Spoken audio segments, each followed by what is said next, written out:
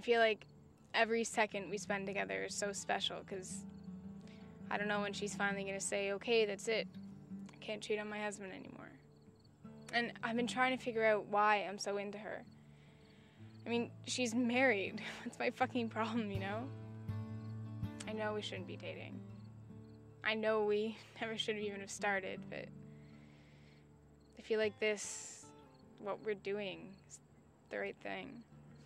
Has she even mentioned leaving him for you? No, but it, it's complicated. I'm pretty sure she's feeling everything I'm feeling, but I think she's struggling with the whole gay thing. Do you think it's even possible for me to love her this quickly? I mean, we've only been dating three weeks. Oh, I think it's possible to love this quickly. I just think in this case it's a good idea. But I find that love likes to make things difficult.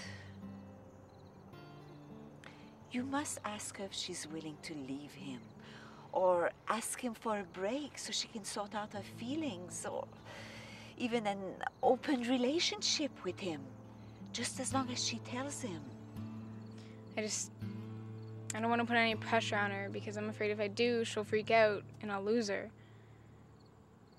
I can't lose her. Just give it some time. Eventually, she'll have to choose. Just don't get your hopes up that it's gonna be you. By the sounds of things, this girl is very confused.